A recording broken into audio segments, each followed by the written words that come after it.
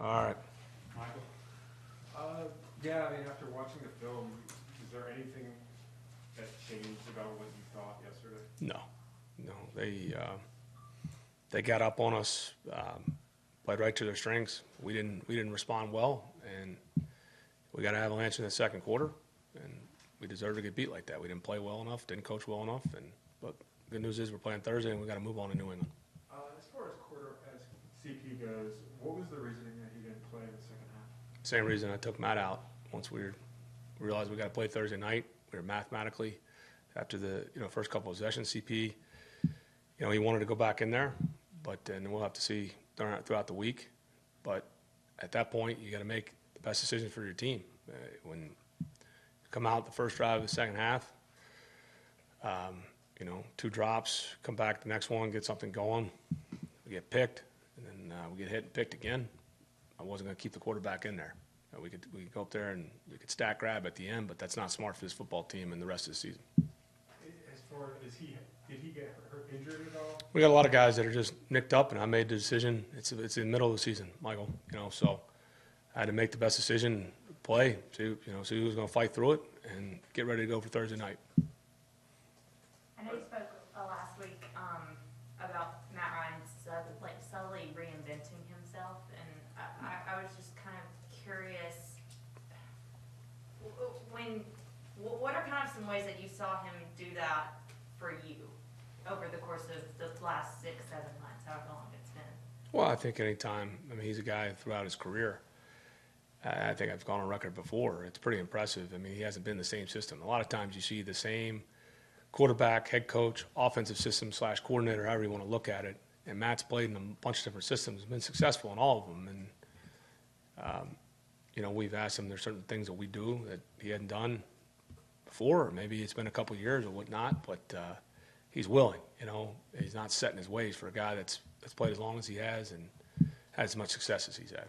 How much uh, dialogue do you have with Matt in game? Because I know when we were talking to you after the Saints game, you were talking about like when you made this decision to go back to CP in the fourth quarter with the same play that you ran in the first. What's kind of how often is that happening with you guys? A lot. And a lot of times it doesn't necessarily have to be over there. That's a good thing about the headset. I can I can talk through them through Charles London. I can go over there and say, hey, make sure we, we go over this so so I can still have my eyes on the field. Or sometimes I feel the need to go back there and look at a picture on the surface. I've got a lot of, but there's there's constant communication. Are there, as a head coach as opposed to a- an OC, do you have to kind of pay more attention to how a whole group of team is mentally, not just after a loss, but just, you know, in general moving forward? Yeah, you do. And, uh, you know, that's the thing is you look at a game like yesterday, and that's a, we said it all week. That's a really talented football team. I wasn't blowing smoke. We knew we had to play well. We got down on them, and that's how they, they won a lot of games this year because they're it's a really good good team. And uh, we got down. You know, like I said, I, I got probably too aggressive, you know, fourth down, but felt we needed to make a play. And you know, obviously in hindsight, the end result it was what it was, but it's everything, Jeff. In offense, defense, special teams, how we prepared last week.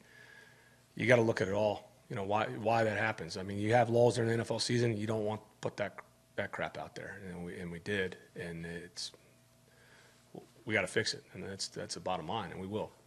Are you, do you take a temperature of guys like today in the team meeting now, or? You do that every day, you know, and that's that's your going through it. And I always think this. I think when you you, have games like that, you find out a lot about players and coaches. And you know, we've the way we started the season wasn't ideal. We fought back, and here we are. We're kind of right in the the mush right here. So we'll see how we come out of it in November because we we got to you got to turn the page quick. You need to do anyways, but especially when you have a short week. We, we know we have a great challenge coming in here in New England. And and kind of along the lines too, and I'll wrap this up, but you've got, you got, not just this week, but you have a lot of tough games in the second half of the season. Every game's tough. But yes, I mean, Okay. yeah, you're right. Will a lot of decisions, will you be, re- really be watching closely, will a lot of decisions be made, you and Terry personnel, based on kind of, you know, not just winning and losing, but how guys respond in games like this the rest of the year? Sure, because you got to find out about people. Um, I've always said this: you don't know somebody in this business, whether you have friends you may know, you know, coaches or you know the players. And spring and training camp don't really give you a good picture. There's really not the pressure. I mean, there's pressure to make the roster, but they're different pressure during the season. But I, I, until you've gone through a season with, with players and coaches, you really don't know. And that's how I've always felt. There's guys who have reputations that may be great, you know, and they've done a good job uh, pumping themselves up, players or coaches, but until you get into the thick of it, and every, every season you're going to have adversity. I mean, there's one, maybe one team a year that everything goes their way, and great, but uh, you're going to face adversity. And so you find out a lot about yourself, and players, and other coaches. How does this week kind of change, like, process-wise? I mean, I, I, obviously, everything gets sped up, but is there anything that you kind of do differently with a Thursday night game and having Sure. quick turnaround? Yeah, you have to. So, and everybody's got different ways they do it. I've done it a lot of different ways. I've been on a lot of different staffs. I think it's the advantage of working a lot of different head coaches. You, you just haven't seen one way to do it. Um, so you try to make the best decision. How you doing, bud? Try to make the best decision, you know, based on your experiences, where your team's at, uh, what point of the season the game falls. So, you know, we we got to get ready to go for Thursday because it's a it's a big game and and ho- hopefully we can. It's, it's a good thing to play Thursday. When you play a game like that, you want to move on as quick as possible. So I'm kind of glad we're playing Thursday. How do you deal with adversity? What's that? How do you deal with adversity? Uh, like, like I said, eh, you know, we're all human, but I, I, I can't continue to say you have to look at it objectively. The same thing when the games you win, and no different than coming off the New Orleans win. You, you can't get too overly excited. Like it's, it's such a long grind in a, in a process. And like I said, as soon as you, and I, I don't, I, I, I say neutral, I say objective, but you see it week after week. And you look around the league, and it's a humbling game. And that's what I love about it.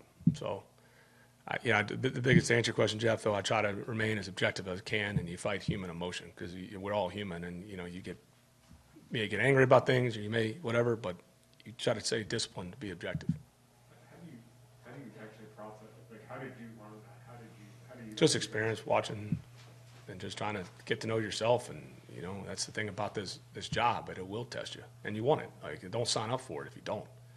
I always say that. Like, I always laugh when guys get up here and yeah, you get you get your butt kicked like that yesterday, and guys sit there and woe was me. I want to blame everybody else. No, it starts with me, and that's what you want. You want to be tested, and that's what I enjoy. I'm thankful for this opportunity to be up here.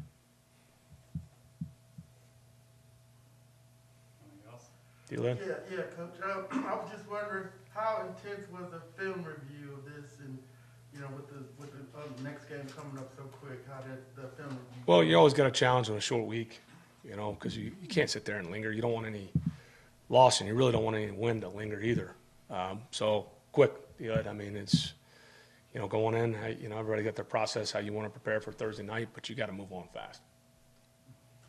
How how far ahead did you, I mean, I'm gonna rephrase this. How much, when did you? I'm not gonna go in the process. I know what you're asking. It's a good question. Well, well, well, I'm curious, what do you think I'm gonna ask? Let's see. How far ahead? When did you start on New England? Or yeah, Yeah. that's Well, because you're talking about it obviously being so condensed and quick, so do you have like, any- are there advanced people that you have do that? I'm not gonna go over our process. The other thing I had was the, what was the evaluation of the passing game and, uh, how can you make adjustments to move forward? You can always make adjustments. Quick evaluation, not good. So, we, like I said, I mean, you gotta, like, you gotta win versus man coverage. Credit to Dallas. We didn't do that yesterday. Game got, got away from us. You start the first two drives, you only come away three points. Credit to them. Next two drives were, were bad. And, um, and then, you know, you get in the third quarter, we don't execute well.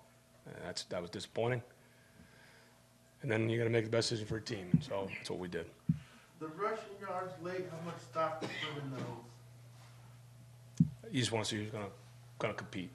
So that's all we're looking to do right there. You, you realize mathematically there wasn't enough possessions left in the game, and so you wanted to make sure see who's going to see what these guys are about. And so at least there was something there. Were there specific guys who impressed you in, in that, in that period? Well, I think he just they confirmed what I've thought about him. You mentioned yesterday that maybe one, thing that bothered you the most was kind of extracurriculars right at the end. And having your guys, what, what do you say to your guys about that? And kind of how do you kind of basically say, listen, Well, I- it's BS, really. I mean, you got beat. I mean, what, what does that do? You know, I mean, it's like the guy, you're, you're, you're getting blown out in a basketball game and to foul somebody hard. I mean, that? That doesn't prove anything. So I get it. They're prideful guys. It's, it's pro football, but just stupid. They're, they're in kneel down. They got us. Move on. That's, that, that's really what the message was, Michael. And you're facing Belichick, I mean, obviously you've never worked under him, but were there things that you watched from afar that Yeah. kind of stood out to you that you're like, oh, wow, I took this, or I, I'm impressed by that? Well, I think the thing that, obviously, there's, we'll all strive to, to reach the record he's got for Super Bowls. I mean, you, you know, he's somebody that's done it at a high level for a long time with a lot of different styles of team. I think the one thing they don't get enough credit for is how physical they are. You know, even though those runs, I mean, you watch them play right now, and they're doing a heck of a job. They're as physical as any team, and if you go back and, and look at the defenses he coached with the New York Giants to how they built that Cleveland team, they're big physical teams. That's one thing nobody's ever given enough credit for. And they're physical as hell. And that's how they played in that kind of environment in, in the AFC East. You play a lot of cold games. They got a big physical team, and that's what they've done this year. They're playing really efficient on offense. They're asking the quarterback. He's going to make the right read for 'em, and they're playing really well as a team. They got it went out, spent a lot of money in free agency. They got a really talented defense. They're physical. They're going to jam you. They're going to. It's going to be a, a good pro football game, and that's why they're they're. You can see, and most of his teams have, they've improved as the season goes on, and that's what they're doing right now. Coach, uh, Mac Jones has arguably been uh, the best rookie quarterback in this draft class. You guys have already faced a rookie You, quarterback. Go back to that question again. Uh, In Mac Jones being arguably the best rookie quarterback in this draft class. I'm not in the. Uh, I'm not a hot take guy. No, no, I good meant player. just like, uh, in his, your evaluation of him. Uh, you- You've already faced a rookie quarterback this season, Zach Wilson. Uh, Is there anything about him that, you know, is abnormal for a rookie quarterback? If we're, if we're gonna write rookie narratives right now, you go ahead and put in that freezing cold take. Then, so we can all look at this in two years, seen it, see the guys that had the good seven game stretch and they wanna put them in Canton. And then the other guys end up emerging later on, or you get guys that don't look well, you don't look right early on. I think Peyton Manning set the rookie interception record. So you'd love to go back and look at those takes from the Indianapolis Star, whatever his rookie year was. Um, I think he's a, I think he's a good player and he's doing a good job for him. What's impressed you about his play, especially over the last few weeks and now in this winning streak? kind of how he played at Alabama. He's smart, he's efficient, he's doing a really good job for him. Tell he's doing what they're asking him to do.